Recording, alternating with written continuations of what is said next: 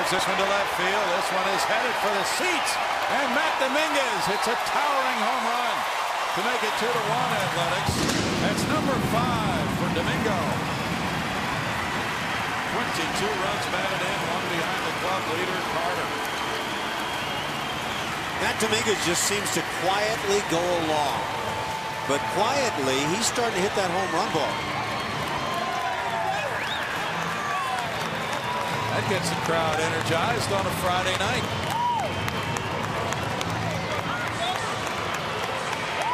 Gets you right back in a ball game, too, when a guy's pitching extremely well. Got a pitch that you should hit, and he does hit it.